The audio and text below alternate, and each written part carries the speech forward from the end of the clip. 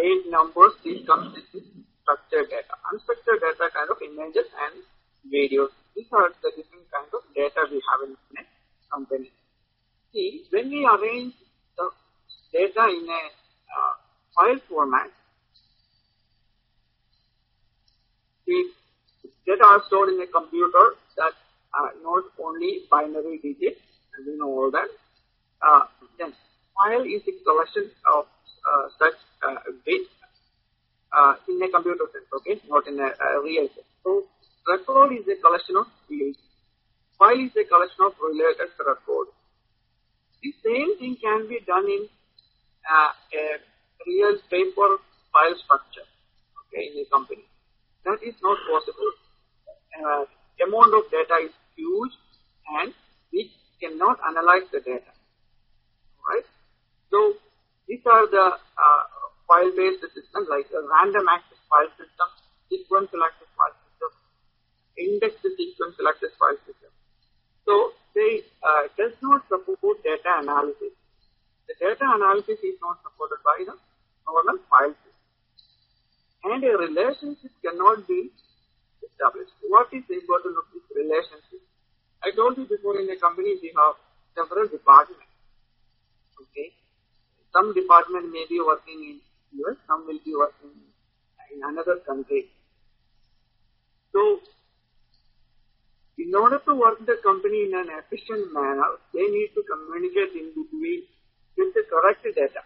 That is important. They need to communicate with the correct data. If they are communicating with the wrong data, then the company will collapse. So, we need to ensure that the relationship between this data, that is uh, with the production, production to the material management. So, the material management will be uh, responsible for buying all the material to make the product. So when the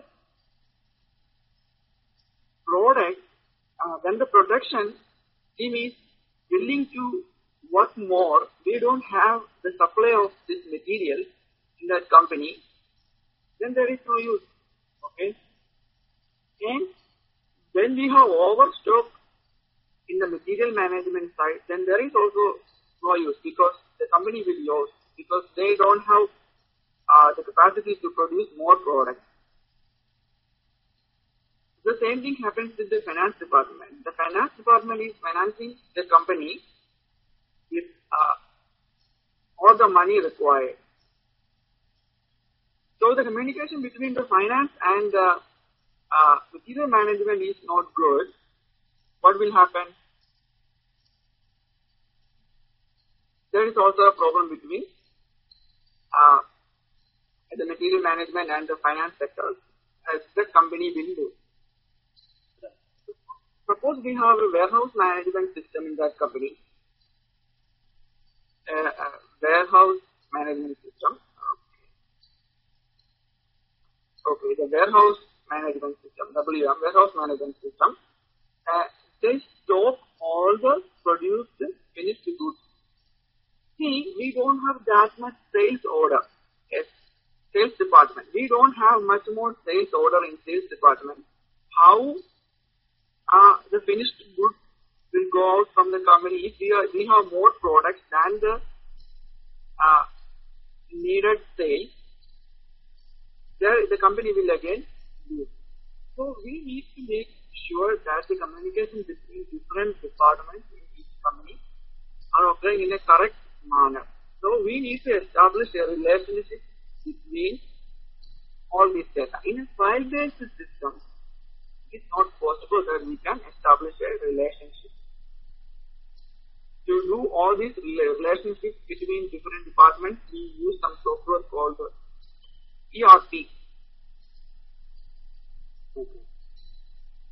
ERP will uh, do the work of establishing the relationship between each department and uh, to communicate uh, between departments uh, in a correct manner. The ERP software are installed or implemented in a company. one of the famous software is called SAP. And the Oracle, they have their own Oracle uh, ERP systems like Oracle apps. You heard about Oracle apps? Yeah. Oracle apps, Oracle install, Warstol, these are kind of uh, software that will make the effective communication, correct communication between uh, the different uh, uh, departments in it.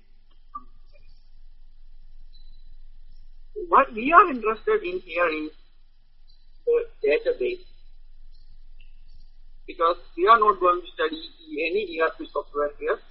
We are only studying the effective movement of data, the storage of data, movement of data, the storage of data, and the reporting of data.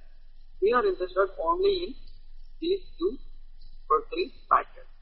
So, what we will be concentrating in uh, first, we try to understand a database, a simple database.